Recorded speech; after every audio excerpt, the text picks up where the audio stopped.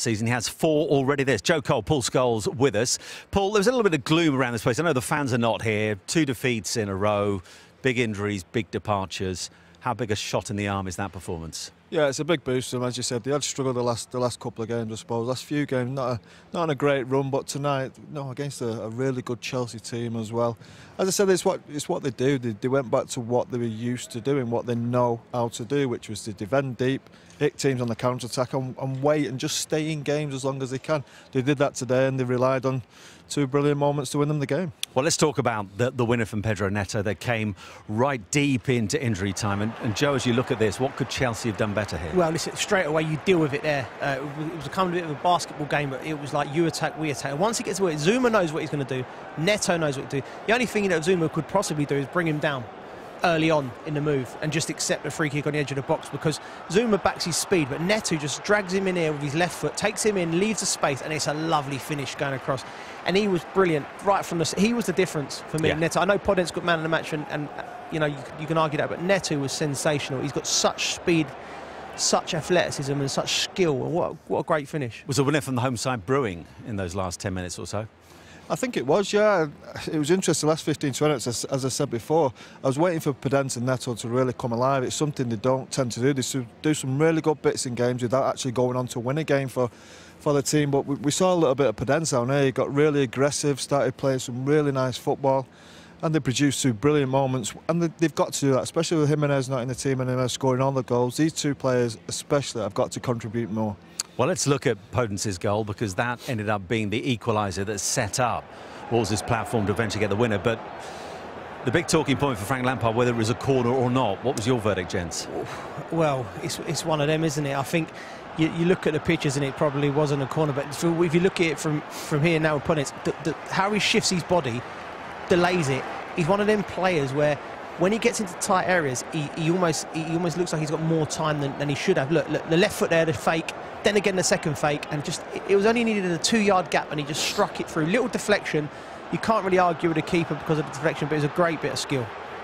And he's been showing flashes of this in the last couple of games and beyond, hasn't he? That he can do this kind of thing to teams. He has, yeah. We know he's a really talented lad. I thought that was a really good goal. Sometimes, you know, you might have a little bit of pop at the goalkeeper, and the keeper probably expects him to go to the far side, but he uses the defender in front of him to block block the vision of the keeper and just whips it. I know he gets a, a, slight deflection, but I thought it was a brilliant goal. Did you see belief? I mean, beginning to course through Wolves as that second half developed. Yeah, and I think I think Chelsea, when they analyse the second half, I think they'll, they'll kick themselves, particularly for Neto's goal because they just lost their shape a little bit in attack. And what you needed was maybe it was Kovacic or Kante to just deal with that ball as they cleared it, and then they could have sustained the attack. They didn't do that, and too many times they were letting Neto, whether it's Neto, Traore, Podence in the in the last 20, 30 minutes, just to drive at their back four, and the game become end to end and Wolves like they had the fitter, stronger, more athletic team. I mean, you said to me when we were watching on that Chelsea were beginning to look a little bit fatigued I, as that second half progressed. I, thought so. I thought so, and I think you know you have to take into consideration Chelsea have, have had a fantastic Champions League campaign as well, and it comes. You know, you don't want to be not in form coming into the Christmas period because there's so many points up for grabs. But I think Frank might have to look at this like maybe maybe you know, take a view on a few players who looked a little bit leggy. You know, we've got the squad, and again, I think it's a, I think Everton was a bump in the road. This is a little bit of a bigger bump in the road. I still don't think it's any of them where you you, you, you, you certainly don't change too much. Maybe just tweak a few players here and there. I've got to be confident in what they've done because it was 17 games unbeaten before these last two mm. games. So, but in this game, they just looked a bit jaded. Uh, Olivier Giroud, Paul, at the end there, he was taken off, looked dejected. A contrast to this moment, though, goal line technology proving how valuable it is. How good a finish was this? Uh, this is brilliant. Great, great movement from Chilwell. Werner plays him in, and this is really good. Getting across your man like that is what centre forwards do. Our boss has said it to us all the time. Get across that front post, you'll score goals. And Boly's a little bit asleep, of course he is, but he, there's no way you can see that man coming across him. And look, he gets a little bit of luck, but it's, it's definitely over the line. Chelsea a, as a whole tonight, I don't think they create enough to, to win the game, to be honest I think Pulisic was a, a, big plus in the first half, but he, he tired, and you can understand yeah. that. He's not played a lot of football. So I think probably on balance of play, I think Wolves probably deserved it with that, that last 20 minutes. So often this season we've talked negatively about VAR, but tonight we're talking in a positive way because it did its job, gentlemen. Reece James on Neto, VAR doing what it's supposed to do. It got it right, and we had a great view of the bench, the Wolves bench, and they must have seen this highlight. Clearly, he, he goes down too easily. Listen, we'll wax lyrical about him. He's a great player, but he knows that he, he's put bodies around him. The ball's going to be, Zouma's going to clear it. He goes down. VAR got it right, you know, and, and, and there was a bit of umming and ahhing from the Wolves bench over there, but it was a great decision, and that's what it's there for, and, and that's what we want it for.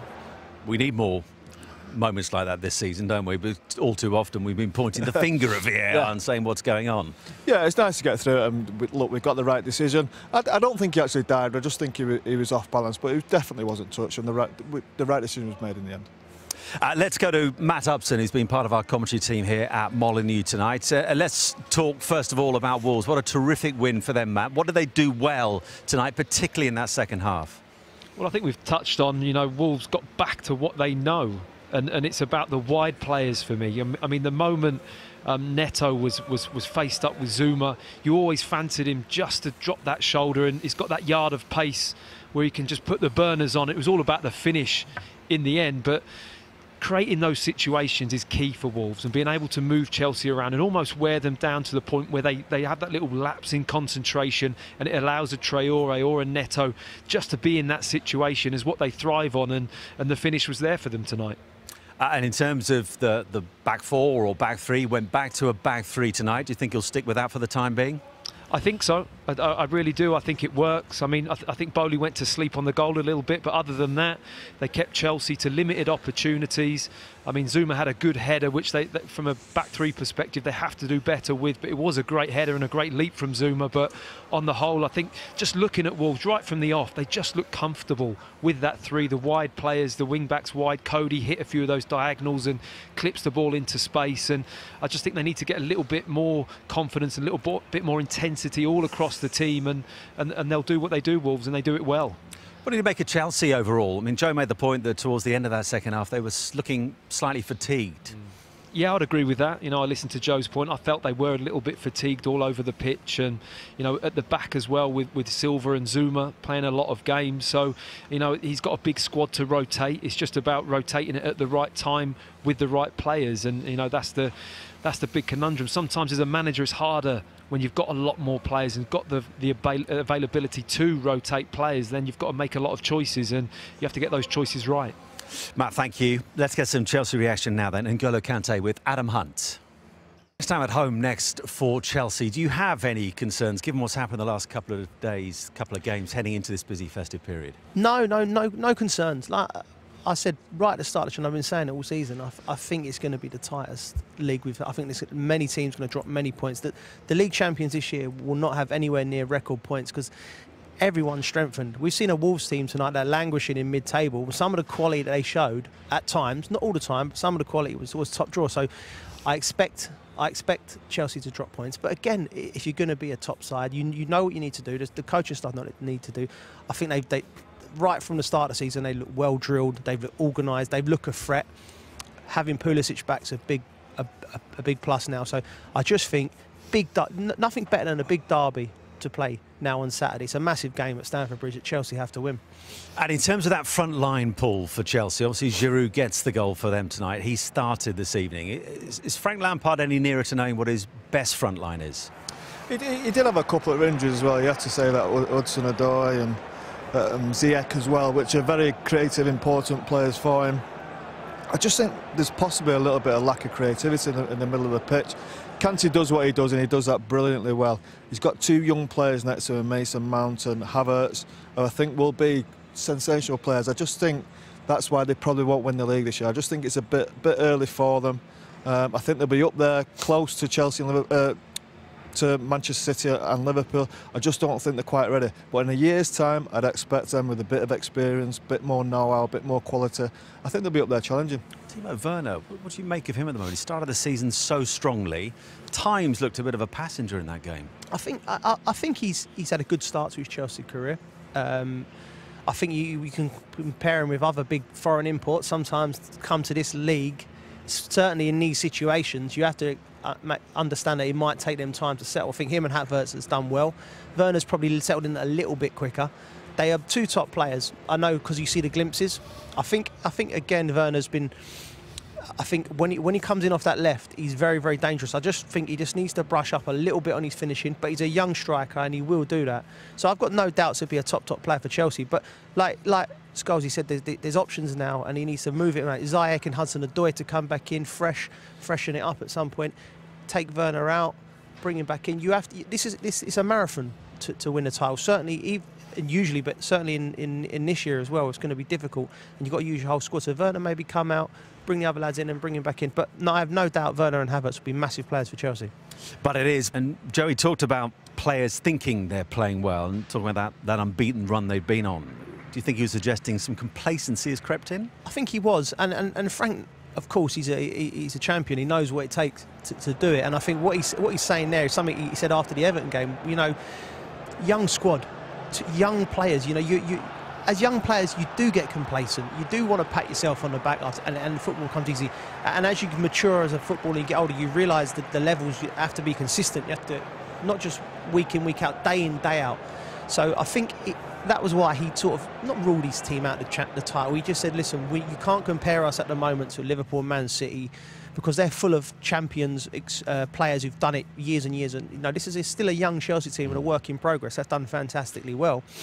And, and like I, I think Monday night is the perfect game, a big London derby. You know, and, and the fact it's on Monday that gives the lads a, a little bit more rest and just to just to let this resonate, sit and you know stew on the performance a little bit, and then Monday night they'll be right at it, I'm sure. Uh, you know one or two things about winning the Premier League. You played under a manager who know an awful lot about how you go about winning this. What does Frank Lampard need to learn over the course of the next few games? I mean, these are not what you want to happen, but they're part of a steep learning curve, aren't they? Yeah, they are, of course, yeah. But I, I think Frank's doing a, a, a really good job, mm. a brilliant job, in fact, with, with with the team. I think they've got an identity. They play a 4-3-3. Everybody seems to know the way they play, what what's expected of them. Bringing Thiago Silva in was a no, a really astute signing. Whether he can play every game, I don't know. At 36 years of age, might be difficult. But I, I think the problem he's got is creativity. Looking at the, looking at the last two games yeah. at Everton as well on Saturday, they, they hardly created a chance. I think in the middle of the pitch, it didn't. They need. I think they've got the players. Like I said, as Joe said, they're just young players, and it's going to take them a bit of time. I think Mason Mount. Every time I see him, I'm really impressed with him. I think he could become like a Frank Lampard. I think he's got the technique, the ability to really win games for Chelsea. And he's got no, he's Mason's got his manager there to, to fall back on. No better to learn from. He should be winning games for Chelsea. And I think in years to come, he will score a lot of goals just like Frank. But that's one of the big challenges for any manager as an embarrassment of riches in terms of the squad. You've got lots of great pieces, but fitting them together and making them work is the big challenge, isn't it? Exactly. And, and, and you know, before these last two games, you know, Frank, no one could knock on Frank's door. 17 games unbeaten. So if you're out the side, you know, and you're, I don't know, you for instance, you're Emerson, Alonso, Christensen, it's one of these guys, you can't knock on his door, but I'm sure there'll be a queue now, you know, because that's how it works in your squad rotation. It's, it's, a tough job trying to keep everyone happy, and you can't do it. The, the job Frank's got is to try and win games, and it, and, and agree with Scholesy in the sense that, you know, there's, there's, there's nothing wrong with his team. There's nothing wrong with the personnel. It's just a question of, of, of like they need, uh, like a fine wine. They'll get better and they'll get better, and you just got to stay patient with them. Um, there is an identity. He's improved in all areas from last season in terms of the set pieces. They're now on top of the league, having been at the bottom. Dealt with the goalkeeper, the centre half, the left back. It's all coming, and it just like I said, just be just be calm and see how it goes after the Christmas period. I think Chelsea will still be there or thereabouts, but whether it's enough to compete with a Liverpool this season, maybe not. But this is the right the right time for Chelsea and the right project. How much will he draw on what he learnt under Mourinho, where he won those three Premier League titles at Chelsea? I, think he's come out and he, has been quite open. He says he, he, he's drawn from all of his managers. Mm. He said it about Carlo. All you know, you, you'd be silly not to not to play for these great managers and, and, and, and you know taking something what they do. But Frank's very much his own mind, and I can see Frank's identity on the team. He'd be he'd be so frustrated. He said about the counter attacks. The goal came from a counter attack. So straight away, he, he, knows what the problem was there. It was a little bit of astuteness, like a little bit of bit cleverness. You could have stopped that Neto go at, at source as they cleared the header, or Zouma, quick as he is, could have just brought Neto down, took a booking, and it might have been 1-1. So that's a little bit of maturity that's got to come with it. But the great thing about this season, from a Chelsea point of view, is that title race at the moment is so open. No one is pulling away like we saw Liverpool do last season. So even when you go on a run of two defeats in a row, you're still right in it. Yeah, you're going to be right that. As Joe said earlier, it's going to be the tightest league I think we've had for such a long time. I still think Liverpool are the best team. I still think they'll win the league. Um, it nowhere near as gap. The gap will be as, as big as it as it was last season. I expect Manchester to get close. Then there's the rest of them really who are much of a muchness really. I still expect Man United to improve massively. Chelsea really good team as we've seen as we know they'll be they'll they'll be there or thereabouts. But look, it's going to be tight. It's going to be tough. But I, I just don't expect Chelsea to be there this year. Well, let's have a look at the Premier League table. And by the way, underway already at the Etihad is Manchester City at home to West Brom. We don't have the table available, but that game is underway. No goals so far at the Etihad. But let's get on to Wolves. Brilliant night for them. They've beaten Chelsea here by two goals to one. Let's hear from Nuno Espirito Santo with Adam Hunt. This Wolves side do? Well, the first two games after they lost him, they lost them. Confidence-wise, what will tonight do? It should give them a big boost. We said before the game, they've got players with, with quality in the team, but they needed to really step up tonight. And if they're going to win games in the future, they're going to have to do exactly the same. I think Nuno was right. Second half, they really livened up Wolves after a pretty quiet first half, but that's what Wolves do. It's when they're at the best. They stay in the game for as long as they possibly can. At times, they're not the best to watch, but last 15, 20 minutes... They, were really good to watch. They come alive last yeah. 15, 20 minutes. And I think Podence started all that off really with a little bit of aggression down here. Then he started playing really well. Some nice little one-touch football, scored a really good goal. And Wolves were well worthy of the, of the victory, I thought, towards the end. Joe, let's have a look at what Wolves have got coming up. Uh, Burnley away next, big game then against Tottenham, then comes United, Brighton, Crystal Palace and Everton. Two seventh place finishes in the last two seasons on their return to the Premier League. What's possible this season? Um, it's, it's, it's a tough one. It, like Espirito said there, you know, it's, it's, a, it's a, strange season. Um, if they finish seventh again this year with the injuries they've had, plus losing Jota, plus developing players like Otasowie, you know, the continued development of Neto. You know, I think the owners will be happy. The fans would like to see a little bit more. I, I feel like, yes, they go back to the back foot. I think they're quite negative, Wolves, and I think they've got better players than they realise. I think Neto, Podence, Traore, all in the same team could do some real damage. You know, so, uh, you know, I understand he's a pragmatic manager and it, he does what works for him. They, they, they play on the break. But you almost like, Neto today has excited me yeah. watching him. I've, I've seen him live before, but I've seen him develop, and I think he's a great player. You know, he's, and I think he's a great developer of, of players.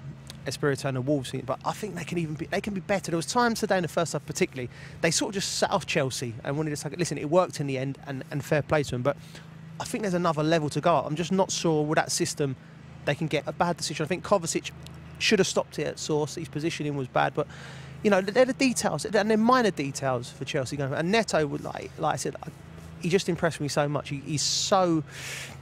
He, he, when he gets the ball, he just goes out. He, he run past Reece James here, and yeah. I've not seen anyone do that. and with George Mendes, you would expect Wolves probably to. Well, well, it's been a tough night again for Chelsea. They lost to Everton the weekend. They've lost to Wolves tonight. What a brilliant finish from the home side. It was back of the netto for Wolves. Good night. One in injury time here tonight. How happy are you with that result? Uh, we are very happy. The work that, that, we have done to pass these through these two losses that we have in the last two games. We come here today with the with the joy and the, the, the we want to win so much that we work hard, and today we take the deserved victory.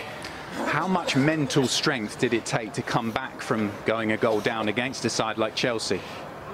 Uh, it's very difficult. We knew but we knew that they are a good team, but what we speak in the locker room, even if uh, the game is going not so well for the for us, we get together and we go as a team. Is what we have done, and we take the three points. We are very happy. Your teammate Daniel Podence got man of the match. He got that brilliant equaliser. He brought so much energy when you were coming back into the game. Did that spur the rest of the team on? Yeah, of course. Uh, we are always on on the game, you know. We, we know that, that we can win the game in the first minute, in the last minute. So we are on all the game, and uh, we have done very well. We worked hard. The team did very well, all the team, and we are very happy, like I said. Talk us through your winning goal. It was a brilliantly taken finish. Yeah, it was a happy moment for me uh, that Vitor, like Vitor, came in. He did a great job. We, uh, is, like, is what I said. We are a team who starting, who came off the bench, is uh, set to work, and we are very happy. Thank you. Well played. Thank you. Thank you very much. Impressive finish from him. Impressive finish from Wolves as well. He scored three goals in the whole of last. Nuno, considering you went a goal down, you must have been so happy with the response from your team. Yeah, we react good. We react well. Um, all the game, all the game. I think we we're always in the game, um, well organized, and uh, I think in the second half we play really good, really good football. There was noticeably a lot more energy from your team. There was noticeably a lot more energy from your team in the second half. Was that the message from you at half time to lift the tempo? Yeah, I think uh, I think uh, in the first half was the game was very, very tight. Uh, Chelsea had the ball, but we we were organized. Um, they create some problems in set pieces. In the second half, uh, yes, yes, it was not about the message. It's about what you want, what, what you feel in the game. Um, but we didn't start the game well. In the second half, well, we conceded one goal. Strange situation on on the on the wide area that we must we must uh, analyze and see. But after that, yes, like you said, the boys believed. Uh, that the game was there to, to be competitive on it, and we did well. Things can change so quickly in football, particularly at this time of year. After two defeats, how much confidence will your players take from winning in the last minute?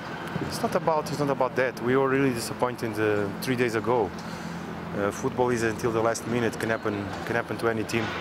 Uh, we had a big disappointing um, against Villa and we react well. That is all about. Now we're gonna think about the next one because, um, like you say, it's a strange, strange season, very strange season. We miss our fans today. Today we we miss them. Um, the situations that happen, it's too much voices uh, around the referee, around the technical staff, all these things. Um, and it's too bad that the fans are not here to celebrate with us today. It was a debut for young Owen Otasowie. Were you pleased with how he played there in the second half? Yeah, he did well. He did well. Yeah, he's a boy that has been working with us some time now. He has he has talent. He's strong, but he's a a project uh, that we have to work on and, and try to develop. Just finally, quickly, not too long before January, with the injuries you've got, do you expect to be busy in the transfer window? I don't know. Now is not the moment. Now is the moment. It's something that we are aware. We there are players. There are players very important for us that are out. Um, but now we have to look at the squad. Today we had another problem with with Leander. Let's see how it is. Boli. Let's see how it is. But um, it's not, not only the squads. The ba- under under 23 are our our backup. So let's try to to build something. Thank you, Nuno. Well Thank you, done. sir. Thank you. And Paul, the big question was, without Raul Jimenez, what would the back-to-back Premier League defeats for the first time in 2020 for Chelsea? Let's hear from Frank Lampard then with Adam Hunt. Frank, having got the opening goal in the game, how disappointing you've come away with nothing? Yeah, very. At 1 0, we should see the game out. Was there enough from your side after you scored that goal to really push on for a, for a second? No, no, and not, not just push on for a second, but if you're not playing that well, which we weren't tonight, hang on to 1 0. Play, control the game, don't allow counter attacks, and we did. Um, I don't know if you had a chance to see their first goal again. Was it a corner? I haven't seen it. Um, Chelsea, of course, you two defeats in a row under pressure. What's changed in the last couple of games? Because you're on such a brilliant run, weren't you, in, in the cup and the league before that? Performance. Performance is what gives you results, and we were playing very well on a long unbeaten run, and then maybe the lads think we're playing well. And the minute you think you're playing well, things like this can happen. On the positive side, Olivier Giroud, another goal for him, six goals in five appearances now. Are you delighted with how he's taken his opportunity in the team?